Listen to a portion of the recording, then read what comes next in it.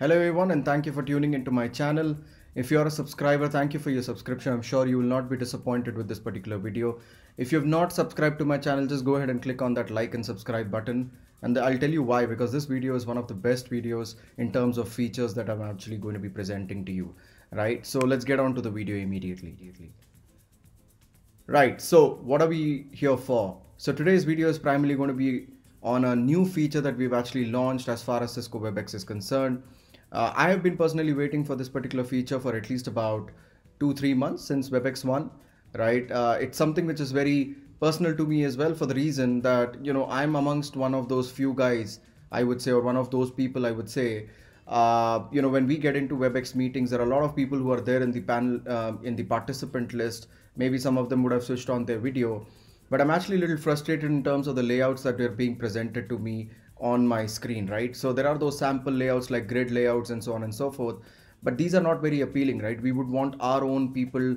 We would want to see our people or the people that we basically want to uh, see on the call, I would say on the frame uh, in front of us, right?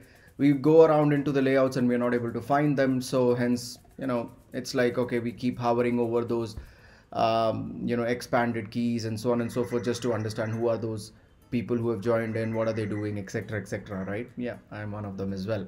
So um, so this particular feature is going to be allowing you a couple of things. So i'm basically being joined by my friend the real monk today. You know he's smiling happy there you go right? So for me as a person who is actually seeing this on my screen it's pretty simple. I get uh, a navigation bar or an expansion bar I would want to call it right? So expand this and next thing you know that Mr. Monk comes on the big screen. So in my case I just have two participants including me on the screen. But imagine that there had been there would be multiple if there had been multiple participants on this particular screen you would be able to expand them uh, with your choices right? Now this is just a toggle bar if I could say but it's not very appealing as such. This is one of those options but the one that I've been looking forward is right here. So when I click on the layout option, I get this option called side by side, right? And I'm actually pushed to the side window. And imagine this could have been a side panel, if you will, which has all the participants lined up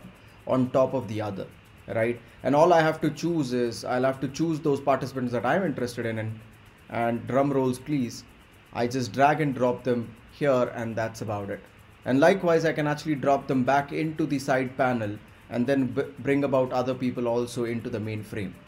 Now here what I'm actually doing is I'm actually creating my own layout with people that I'm actually interested in in seeing during the particular meeting, right? I told you it's worth the wait. By the way, this is going to be hitting uh, WebEx uh, in the month of April, so maybe you'll have to wait another one month for it, but I'm sure it's worth the wait. Again, thank you for watching and uh, don't forget to like and subscribe.